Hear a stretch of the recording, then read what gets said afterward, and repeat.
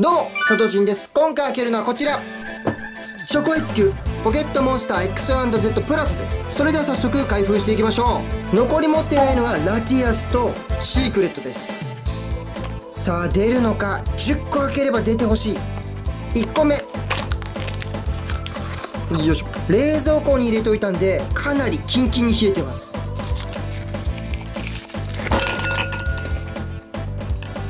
1つ目頼む。シークレットかラティアス。ピピカチュウおお来た。1個目でラティアス。リーチラティアス無限ポケモン。冬 1.4m40 キロ。意外と小柄なんですね。ラティアスです。よしシークレットが出ればコンプリートです。いいぞこれ。2個目。シークレット。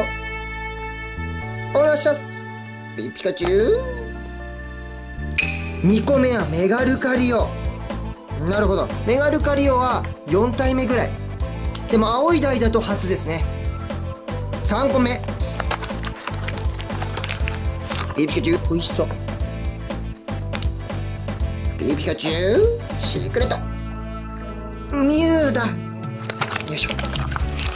4つ目。お軽い。テレツテツテテンうわーサトシ月光が。5個目うわカッチカチやこれはいい感じに丸いピカチュウとか？テレツテツテテンおおブラッキーだ。で前回のシークレットはこちらでしたね。ジガルでパーフェクトフォルム。6個目。テレツテツテテンジガルで10%フォルム。びっくりした。パーフェクトフォルムかと思った。7個目。いや来てくれないかな。シークレット。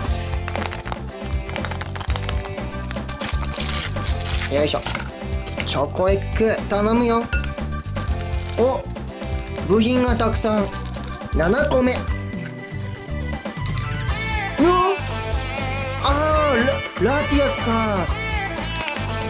いい音してますね。シークレット来いシークレットね、ねだるな、勝ち取れ。ディグだ、ディグだ。ダグ、ダグ、ダグ。前作は出ましたけれども、今回初、青い台のディグだ。9個目。残り2個で当てたら奇跡だな。諦めない。青いカプセル。青いカプセルからのシークレット。シークレット来い10%フォルム。最後。くそ出てくれ。出てくれ。よいしょ。シークレット。うーんなんだろう。ディグダっぽい感覚があるけど気のせいだろうな。さあシークレット。最後の10個目。ピピカチュウ